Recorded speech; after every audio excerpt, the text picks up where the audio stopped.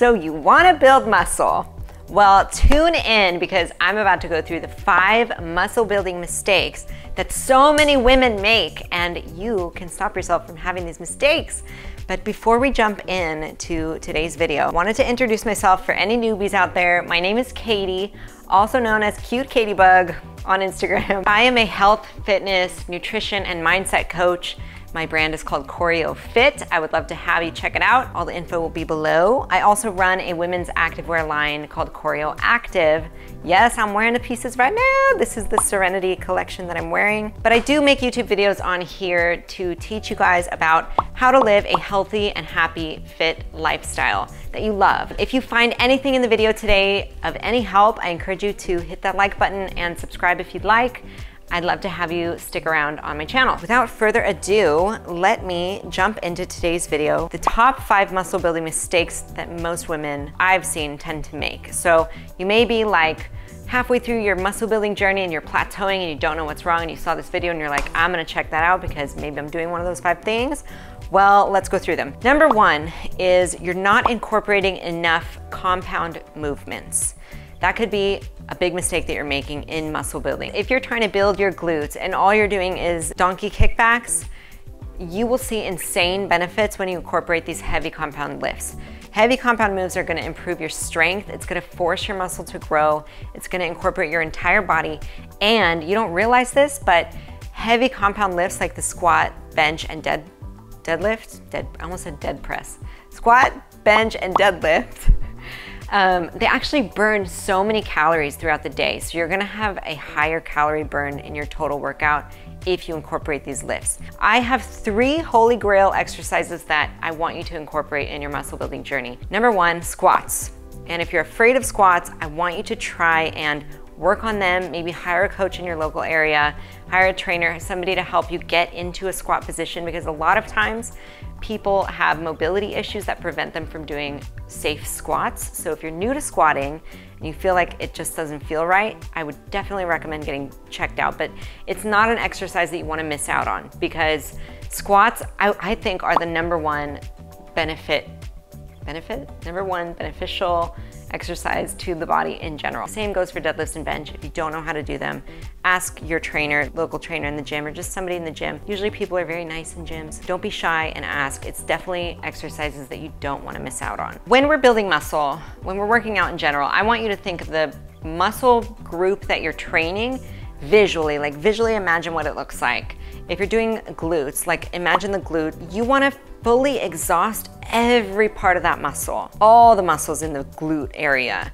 So if you're doing legs, like you wanna do like all your quads, your hamstrings, your calves, your glutes, like you wanna make sure everything is exhausted. Your heavy compound lifts are more of like your strength. These are gonna be your powerhouse moves. So they're gonna help you build strength. They're gonna help you build the most muscle. So I usually put these in the beginning of my workouts. So I usually start my workout after I warm up and do mobility with my heavy compound lift. After you do heavy compound lifts, then move to your accessories like donkey kicks or like lunges, step ups, something with dumbbells that are not with a barbell, with, with dumbbells. Those are like a little bit easier. Those are accessory moves. Those, if you do them, there's so many ways to train. If you do them fast, you can help your cardiovascular health. You can help even lose fat. And then follow it up at the end with your isolated movements. Isolated would be like machines, so like the quad extension. The quad extension, when I do my quad extensions, that is my time to fully exhaust my quads after my whole workout of like heavy compound lifts and accessory moves. Maybe I did a few circuits, then I jump on the isolated quad extension and I fully exhaust them until they're burning. Like you want your muscle to be completely exhausted when you're done. So that's the progression that I usually do. Heavy compound lifts, then accessory, and then isolated. The exercises that will take the most energy first and then taper it off as you go so that by the end of your workout, you are completely wiped in that muscle group area. So if you're just doing donkey kicks and not doing squats or any heavy compound lifts, I encourage you, please do them. Those will make the biggest changes in your physique, I swear to you. Number two mistake that a lot of women make is that they're not doing a progressive overload type of program. There's a huge benefit to doing a program because if you've just been kind of going to the gym, doing what you know how to do and leaving and not really getting results, it's because you're not progressively overloading your muscles, your body. What does that mean? That means you're adding every week, whether it be sets or reps or weight, increasing your weight each week. That's my favorite one. But you want a progressive overload when you work out because your body will adapt to whatever you put through it. That's the overlying thing you need to remember through your entire fitness journey, and that also applies to nutrition as well. Your body will adapt to what you give and what you make it do. If you're doing the same exercises over and over and over and over and over, your body's not really gonna change. It's already adapted to doing those things. So you gotta change it up and like progressively overload those muscles, whether it be adding more sets, adding more reps, and especially increasing your weight that you're lifting, becoming stronger and my dogs just love to interrupt my YouTube video. Hey! So number two would be you're not lifting heavy enough. Make sure you are pushing, pushing your strength every week in the gym. If you're trying to build muscle, you gotta fight your body. You gotta push it to do things that it's not done before. Your muscle is already this big and it already knows how to lift X amount of weight. You gotta lift more than that so that it can grow to be able to lift that much weight. You gotta keep pushing yourself. Obviously keep in good form always. Most of the time you're stronger than you think. So what I recommend if you're gonna do progressive overload with adding weights, increase your weight just by like 2.5 to 5 pounds every week if you can. It could be really helpful to track your weight progression in the gym as you train and also super helpful if you actually have a program that puts you through a progressive overload.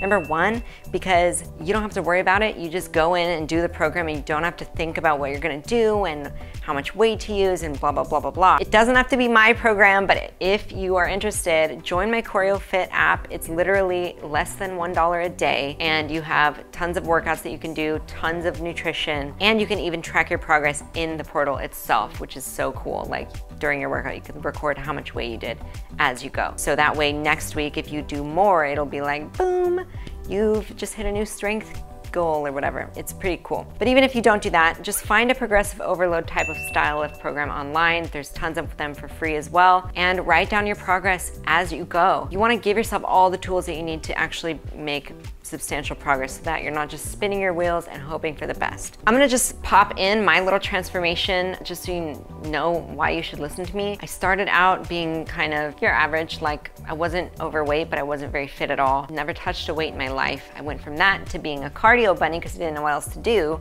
Then I did bodybuilding competition, bikini competitions for a long time. Then I transitioned to powerlifting where I trained for strength. So bodybuilding, I trained to be as lean as it possibly could be. And physique was like, you know, symmetry and all that. I've been through a lot of different phases with my body. And so I've learned so much throughout the way that I'm trying to share with you guys. So you don't have to make the mistakes that I did and you can just bypass all the mistakes and go straight to your results that you want. Number three, this is, oh, this, this one, guys, like, oh, this is the one thing that I always see. Oh, I always see this. Number three, you're not eating enough, sis. You're not eating enough. Your muscles need fuel to grow. It needs food. I will say something here. There's two groups of people. Number one, the newbies who have never worked out before, they've never done fitness before at all. We'll talk about them in a second. Number two are the fitness experienced people, but not really getting results. Actually, I guess there's three. Number three would be people who are like extremely overweight or, or obese. That's another category. Newbies, I have good news for you. Newbie gains are coming your way. Newbie gains, let's talk about newbie gains. Newbies, new beginners in the gym who have never done a, a progressive overload program or who have never really done heavy compound movements or done much at all in the gym, you'll make faster progress than people who are experienced and already been doing it for a while. It might not take you that long once you start incorporating things like heavy compound lifts and eating enough, so that's super exciting. People who are experienced lifters in the gym and who are just kind of not seeing the progress that they want, make sure you're eating enough. Make sure you're eating enough protein. The standard recommendation is one gram of protein per pound of body weight. So make sure you're getting that protein in. Make sure you're in a caloric surplus, a little one. If you're trying to build muscle, and this goes for mostly people who are well trained, people who are newbies, even if you don't eat in a surplus, like I would recommend just trying to get your nutrition under control, and that's a whole other video. But eating enough protein, just focus on eating more protein for beginners, and I promise you, you'll see results. People who are more experienced in the gym, make sure you're eating enough in a little bit of a calor caloric surplus, not too heavy, just a little bit. I would say like 200 calories surplus. So find your maintenance calories and then add a little bit more to that. For the people who are extremely overweight or in the obese category, you're gonna make extreme gains when you start incorporating these heavy compound lifts. A lot of times I feel like these people don't do them because they feel like, oh, I wanna lose a bunch of fat before I start lifting and building muscle. They associate building muscle with gaining weight and that in turn makes them not wanna do it because they're like, oh, I just need to lose fat. Well, I am here to tell you that the more muscle you have, the more fat you'll burn. It's like kind of like working from the inside out. Those heavy compound lifts, the amount of calories that you'll burn throughout the day is way more than what you'll do on a treadmill for an hour. I would recommend to start doing those lifts now. Like you'll have such faster results. You gotta not be afraid to eat. Like I always tell my CorioFit members, I want you to adopt the mindset of you are an athlete, not a dieter. You are an athlete. Like think of your body as an athlete. What would an athlete eat? You gotta fuel yourself. You gotta perform. Make sure you're eating enough. That's so crucial. If you don't eat enough, you're not gonna make extreme muscle gains. Food is not the enemy, it is our friend, okay? Food needs muscle to grow. I cannot stress this enough, especially if you're trying to build. All right, guys, that brings me to number four, one of the mistakes that you may be making. You gotta give yourself enough time. If you're somebody who has done heavy compound lifts, who has an super experienced lifter, who has done progressive overload and you're still not seeing result, you gotta give yourself time. The times that I've made the most progress in my, my journey, I would build, I would do a building phase for at least a year. And I would just say, okay, this year is my year to commit to building as much muscle as I can and I would just go all in.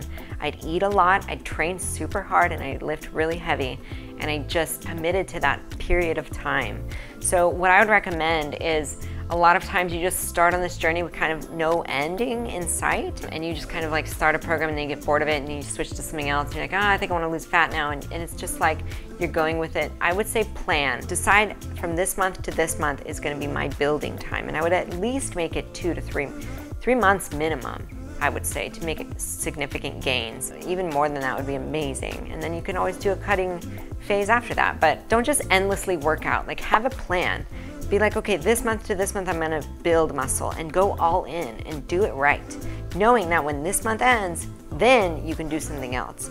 But don't program hop, get distracted, look for a quick fix, or give yourself not enough time. Like, don't get bored. Just commit to it, you know? Newbie people will experience really fast results as well as people who are extremely overweight. The oldie people who have been in the gym for a while, you gotta give it time. You gotta give it lots of time. I remember training during my building phases I've probably done like three different building phases for a year each, so like three years of solid building. But I would tell myself like, I will work so hard that my body literally doesn't have a choice but to change. Like I was pushing myself to the limit and it worked.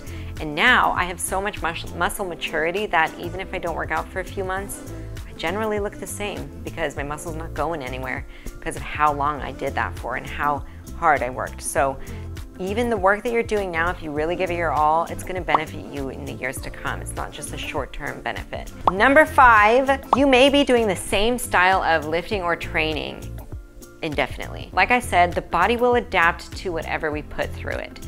So if you only do bodybuilding style workouts where it's like four sets of eight reps or and then of everything and then like that's it, I would recommend switching it up. Like do some EMOM workouts, do some timed circuit workouts, or just circuits into your workout after your heavy compound moves. EMOM circuits, um, volume training where you do like 10 sets of 20 reps, like huge amount of volume. Switch it up. There's so many different styles of training. If you've boxed yourself into one, definitely need to switch it up because your body is used to that and you want to surprise it. As long as you remain true to the three holy grail exercises squat, bench, and deadlift. Even for us ladies, the bench press is so beneficial for our entire bodies, so I really recommend not being afraid of that. You don't have to go super heavy on bench if you're not trying to, but definitely squat and deadlift, you wanna push it. As long as you have those three holy grail exercises, you definitely like consistent every time in the beginning of your workout, You wanna switch up the rest of your workout to be different so your body doesn't adjust and stay the same. Your body will adapt to what you put through it. So if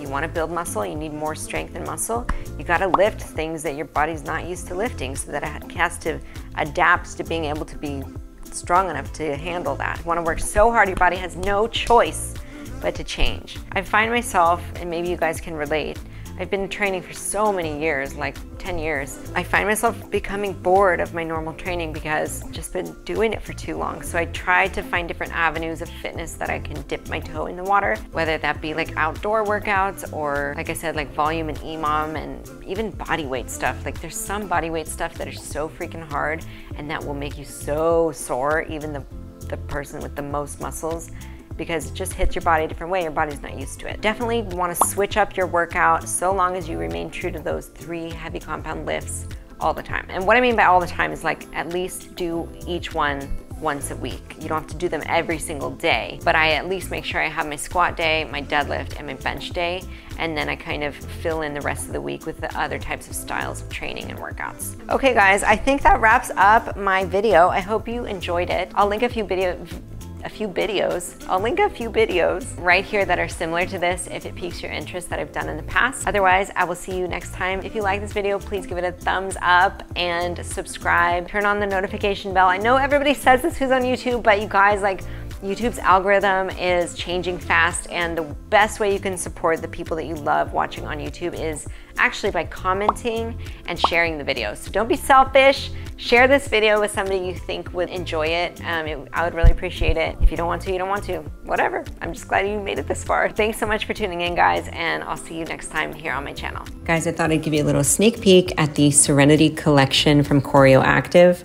I'm wearing the Renew shorts in the color Dusk, and I'm wearing the Zen bra in Cloud. I'm an extra small on bottoms and a small on top. I think you guys will love these pieces.